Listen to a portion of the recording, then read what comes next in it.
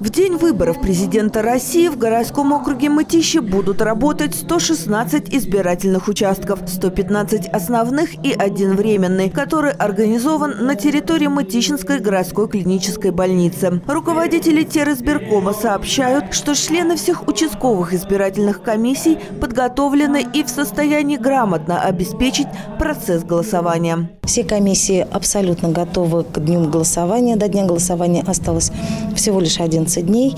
Все комиссии в полном объеме готовы к работе. Еще один немаловажный момент, к которому должны быть подготовлены члены территориальной и участковых избирательных комиссий. Обеспечение безопасности жителей городского округа Мытищи, пожелавших изъявить свою волю. Накануне на одном из финальных семинаров волонтеры встретились с сотрудниками межмуниципального управления МВД России Мытищинская. Основными нашими задачами являются не только организация и проведение выборов президента Российской Федерации в рамках правового поля, но и в первую очередь обеспечение безопасности.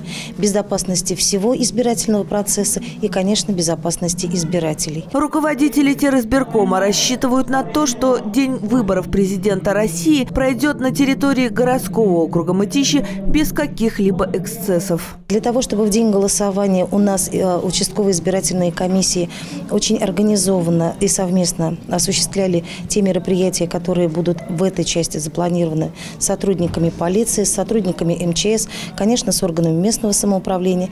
Вот именно для этих целей сегодня и состоялся этот семинар. Напомним, в бюллетенях будет указано 8 имен. Изначально претендентов на шестилетний президентский срок было более 40, в том числе несколько самовыдвиженцев. Окончательный список был утвержден в начале февраля текущего года, и, как видите, он заметно сократился. Все кандидаты россиянам давно знакомы. Это публичные люди. Свой выбор мы сможем сделать совсем скоро, 18 марта. Надежда Трифонова, Олег Степанов.